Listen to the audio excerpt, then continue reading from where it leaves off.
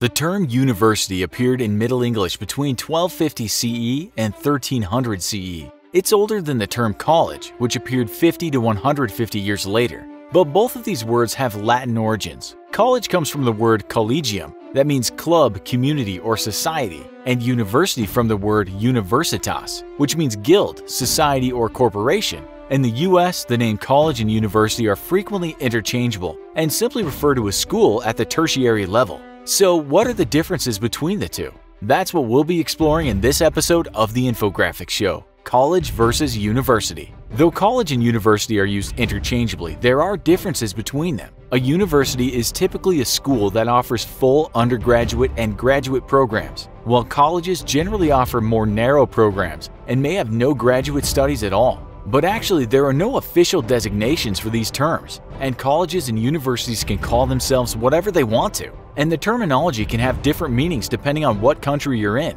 In the United Kingdom, a university is an institution that awards degrees, while colleges are seen as pre-university education institutes, as they prepare students to earn degrees later. But again, it's not set in stone and as a general rule, English speakers use the word university as a generic term for higher education. The same applies in Canada and Australia, where university is used more often than college as the generic term. But if we're looking at the US, how can we better define these terms university and college? Let's start with looking more closely at what a college is. Colleges are usually smaller institutions that emphasize undergraduate education. One example of a type of college is a liberal arts college that offers students an education in a broad range of academic areas, as opposed to having them specialize early in one particular subject. Liberal arts colleges are uncommon outside of the US, so prospective international students aren't always familiar with them. Another type of school in the US with college in its name is a community college. These are two-year schools that grant associate degrees and career-related certificates. Most colleges offer bachelor's degrees and some colleges also have associate's degrees. Some students begin their education at a community college and then transfer to a four-year college or university to complete a bachelor's degree.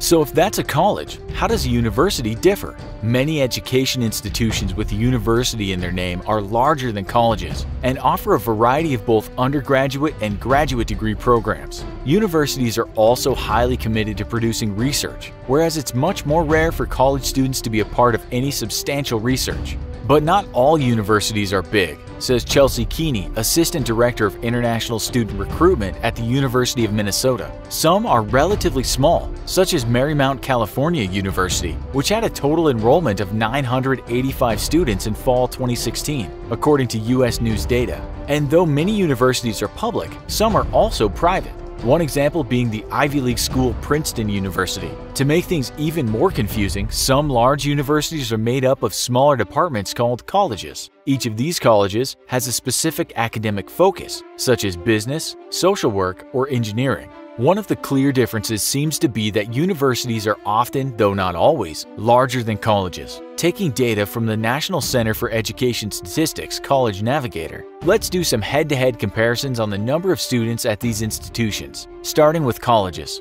McDaniel College in Westminster, Maryland, 3,003 total, 1,667 undergraduate. St. Olaf College, Northfield, Minnesota, 3,046, all undergraduate. Ursinus College, Collegeville, Pennsylvania, 1,643, all undergraduate. Emerson College in Boston, Massachusetts, 4,479 total, 3,808 undergraduate. And as for universities, Ohio State University, main campus only in Columbus, Ohio, 58,663 total, 45,289 undergraduate.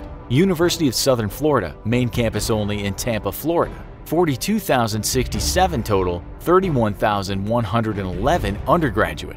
Middle Tennessee State University, Murfreesboro, Tennessee, 22,511 total, 20,140 undergraduate. Rutgers University, New Brunswick Campus, New Brunswick, New Jersey, 49,428 total, 35,484 undergraduate. Okay, so even the biggest colleges are no match for the enrollment numbers that large universities have. For example, Ohio State has 10 times more undergraduate students than Emerson, the biggest college on the list, and the University of Central Florida has a staggering 54,662 undergraduate students, which is more than four times as many as the combined total student numbers of the four colleges listed above. To look at staffing these education institutes, the head of a university is called the Vice Chancellor. For a college, it's a dean or director. Professors teach at both colleges and universities, and the level of their pay varies depending on several factors, such as the size and location of the college or university, the subject taught, and whether the institution is private or public.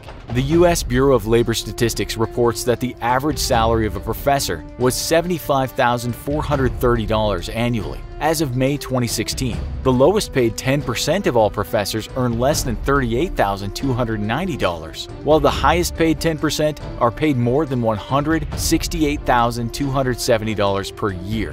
The American Association of University Professors reports that the salary of full-time professors at private colleges and universities averages $105,323, as compared to $103,019 for those teaching at public colleges and universities. And professors working at four-year institutions, both private and public, earn higher salaries than those employed at two-year schools. Finally, let's take a look at a college and university that are on each other's doorsteps. Harvard College and Harvard University. How do they compare? Harvard College is actually the original Harvard. It was founded in 1636 as the oldest institution of higher education in the United States. There are about 6,500 undergraduate students at Harvard College, with nearly equal numbers of men and women. But the college is part of Harvard University, which comprises 10 other graduate and professional schools. Although part of the same institution, each of these schools is run independently, so they maintain independent admissions offices, teaching and research faculties. So the difference between college and university is far from clear. In some cases, they are part of the same institution, but other times completely independent. And typically, a university is larger than a college and its professors are paid more. Are there other differences worth mentioning that we didn't highlight? Let us know in the comments. Also, be sure to check out our other video, The Most Dangerous Schools in America. Thanks for watching, and as always, don't forget to like, share, and subscribe. See you next time.